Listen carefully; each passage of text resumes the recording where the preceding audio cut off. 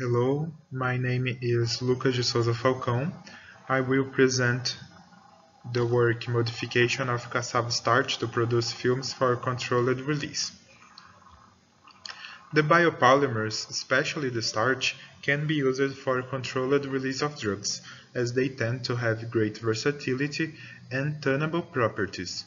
Starch is susceptible to physical and chemical modifications, which can improve a desired property, depending on the product application.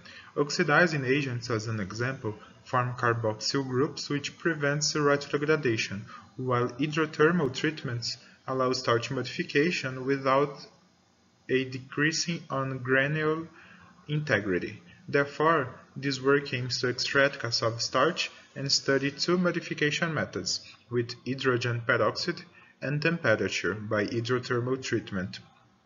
Analyzing the structure and properties of, of modified cassava starch films for future application as controlled release device.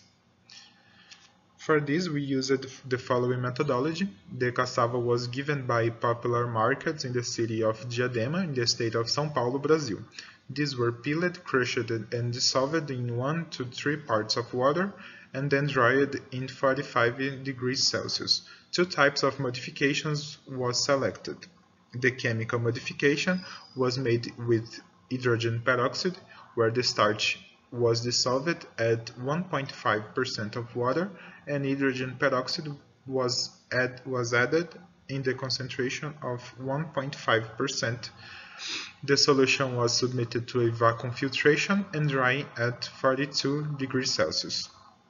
For the film formation, the modified starch was dissolved in water in the concentration of 2% and glycerin was added in the concentration of 0.06% uh, in, in a thermostatic bath on 95 degrees Celsius. The film was then formed by casting at ambient temperature. For the physical method, hydrothermal treatment was used, where starch was dissolved in a concentration of 2% of water incubated on thermostatic bath. The, sol the solution was freezed for 48 hours and thawing by 3 hours on 45 degrees Celsius. For the formation of the film, glycerin was added in the concentration of 0.06% and submitted to thermostatic bath on 95 degrees Celsius by 35 minutes. Films with unmodified starch was also made, dissolving 2% of starch in water and adding 0.06% of glycerin again, and submitting the solution to stirring on thermostatic bed and casting. Therefore, we obtained the following results starch extraction was successful with a yield of 14.87% and the films produced with modified starch were visually similar to the ones produced with unmodified starch with satisfactory aspects. The modified films presented homogeneous and smooth, and smooth surface and fractured, and, and fractured surface similar to the unmodified films without, without significant changes. The modifications on start diminished the solubility of the films on water, especially the thermally modified films, indicating that the treatment decreases its affinity with water, tendency re reinforced with the swelling tests.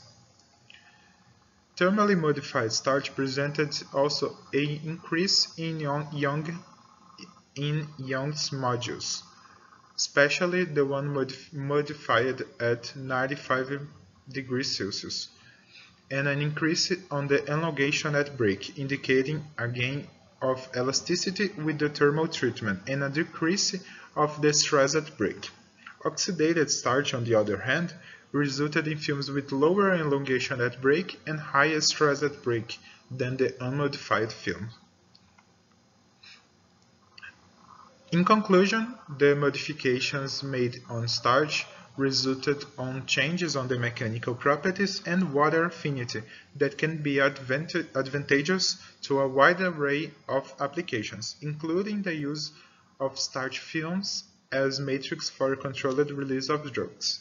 Thermi thermically modified films exhibited interesting properties, especially the decrease in water solubility and increase on, on the mechanical properties. We thank you all watching and the public agencies that supported this work. Thank you.